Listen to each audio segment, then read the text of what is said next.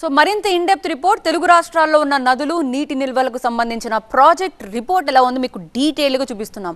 ముందుగా కృష్ణానది విషయానికి వద్దాం. కృష్ణానదిపై ప్రాజెక్టులు నీటి నిల్వలు ఎలా ఉన్నాయో మీకు పరిశీలిస్తాం. ముందుగా జూరాల విషయానికి వద్దాం. సో జూరాల్లో సామర్థ్యం అయితే మనకి మూడు వందల పద్దెనిమిది పాయింట్ ఐదు మీటర్లు. కానీ ఎంతవరకు వచ్చింది? మూడు వందల పదిహేడు పాయింట్ ఐదు. అంటే ఇంకా జస్ట్ ఒక్కటి మాత్రమే తేడా ఉంది. ఒక్క అడుగు మాత్రమే. ఇక ఇంట్లో అయితే డెబ్బై ఆరు వేల క్యూసెక్లుగా ఉంది. అవుట్లో ఎనభై నాలుగు వేల రెండు వందల ముప్పై నాలుగు. బికాస్ ఆ ఫ్లో అలా అనేది మనకి కనిపిస్తుంది కాబట్టి ప్రస్తుతం మనకు జూరాల ప్రాజెక్ట్ నీటి నిల్వ ఎలా ఉందో చూసాం నెక్స్ట్ శ్రీశైలం విషయానికి వద్దాం.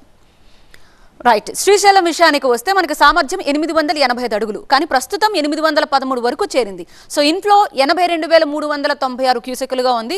ఇంకా టా ఇంకా కాస్త తెడు రెండింటికి మధ్య వ్యత్యాసం బాగానే కనిపిస్తోంది కాబట్టి అవుట్ఫ్లో అనేది మనకి పెద్దగా ఇక్కడ ఏమీ లేదు.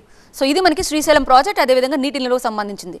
థర్డ్ వన్ మనకి నాగార్జున సాగర్ విషయానికి వస్తే సామర్థ్యం మనకి ఇక్కడ చూడొచ్చు. మూడు వందల పన్నెండు టీఎంసీలు కానీ నూట ఇరవై మూడే. ఇంకా చాలా ఇంకా చాలా వ్యత్యాసం కనిపిస్తోంది రెండింటి మధ్య. ఇంకా నిండుకొండల అనేది మనకు కనిపించట్లేదు. సో క్యూసెక్లు అయితే నాలుగు వేల ఆరు వందల తొమ్మిదిలో చాలా తక్కువ కనిపిస్తుంది. అవుట్లో ఎనిమిది వేల నాలుగు వందల ఎనభై. ఇంకా మనకి అవుట్లో ఇంట్లో కంటే అవుట్లో ఇక్కడ ఎక్కువగా కనిపిస్తుంది. బికాస్ ఒకవేళ నాగార్జున సాగర్ కనుక నిండితే ఆ గేట్లు ఎత్తితే చాలా మంది పర్యాటకులు చూడటానికి కూడా వెళ్తూ ఉంటారు. ఇంకా ఆ టైం అయితే రాలేదు ప్రస్తుతం.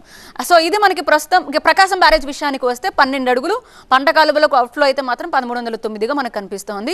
సో ఇది మనకి కృష్ణా నదిపై ప్రాజెక్టులు అదేవిధంగా నీటి నిల్వలకు సంబంధించిన డీటెయిల్డ్ రిపోర్ట్ ఒకసారి మనం గోదావరి ప్రాజెక్ట్స్ విషయానికి వద్దాం. గోదావరి ప్రాజెక్టుల వివరాలు అయితే మొదట్లో మొదటగా మనం చూడాల్సింది శ్రీరామ్ సాగర్. సో శ్రీరామ్ సాగర్ ఎలా ఉంది? నీటి మట్టం ఒకసారి వెయ్యి తొంభై ఒక అడుగులు కానీ వెయ్యి అరవై ఆరు అడుగులకు చేరింది.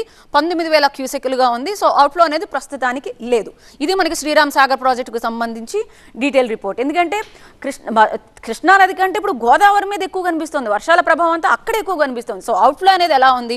ఇన్ఫ్లో అనేది ఎలా ఉంది? మిడ్ మారేర్ విషయానికి వద్దాం. ఇక్కడ మనకి ఇరవై ఏడు పాయింట్ ఐదు నాలుగు టీఎంసీలు కానీ ఐదు పాయింట్ ఐదు ఏడు వరకే ఉంది. రెండు వందల ముప్పై ఆరు క్యూసెక్లు అవుట్ఫ్లో అనేది అరవై రెండు క్యూసెక్లు కనిపిస్తుంది. మిడ్ మారేర్ నెక్స్ట్ మనకి కిన్నెరసాని విషయానికి వద్దాం. సో కిన్ కిన్నెరసాని విషయానికి వస్తే మనకి ఇక్కడ సామర్థ్యం ఎంత? నాలుగు వందల ఏడు. నాలుగు వందల రెండు వరకు వచ్చింది. ఇంకా ఐదు అడుగులు తేడా ఉంది. ఇంట్లో మనకి రెండు వేల ఎనిమిది వందల క్యూసెక్లు ఉంటే అవుట్లో అనేది ఇంకా కనిపించలేదు. బికాస్ ఒకవేళ ఇంకా ఆ దగ్గర వరకు ఒకవేళ నాలుగు వందల ఆరు వరకు వస్తే అవుట్లో అనేది మనకి ఇంకా ఎక్కువగా కనిపించవచ్చు భద్రాచలం విషయానికి వద్దాం. నెక్స్ట్ భద్రాచలం ప్రవాహం అయితే మనకు ముప్పై మూడు పాయింట్ ఐదు. ఇంతకుముందు మనం ముప్పై రెండు అనుకున్నాం. ఇప్పుడు మనకి తాజా రిపోర్ట్ ప్రకారం ముప్పై మూడు ఐదు. అందుకే మొదటి ప్రమాద హెచ్చరికకు దగ్గరగా వస్తోంది. సో అందుకే భద్రాచలం వాసులు ముఖ్యంగా అలర్ట్గా ఉండమని అధికారులు కూడా చెప్తున్నారు. అండ్ పోలవరం విషయానికి వద్దాం నెక్స్ట్ మనకి స్పిల్వే ఒకసారి చూడండి. స్పిల్వే అయితే ముప్పై పాయింట్ ఆరు మీటర్లు స్పిల్వే దిగువ మనకి ఇరవై పాయింట్ ఆరు మీటర్లుగా వెళ్తోంది. కాఫర్ డ్యామ్ సారీ అక్కడ మీకు కాఫర్ డ్యామ్ ఎగువ మనకి ముప్పై పాయింట్ మూడు మీటర్లు కానీ దిగువన మనకి ఇరవై పాయింట్ పది మీటర్లుగా మనకు కనిపిస్తోంది. అవుట్లో మనకి ఇక్కడ నుంచి సముద్రంలో కలిసేది అయితే మాత్రం ఐదు పాయింట్ ఎనిమిది వేల ఎనిమిది ఏడు క్యూసెక్ల వేల క్యూసెక్ల నీటిని దిగువకు వదులుతున్నారు. ఇది మనకి రెండింటికి సంబంధించి. ఇక మనం ధవళేశ్వరం విషయాన్ని కూడా వద్దాం మనం.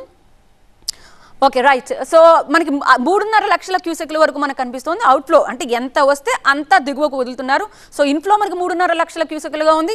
అవుట్ఫ్లో కూడా మనకి మూడున్నర క్యూసెక్ లాగా కనిపిస్తుంది. ఇది రెండు తెలుగు రాష్ట్రాల్లో నదులు నీటి నిల్వలకు సంబంధించిన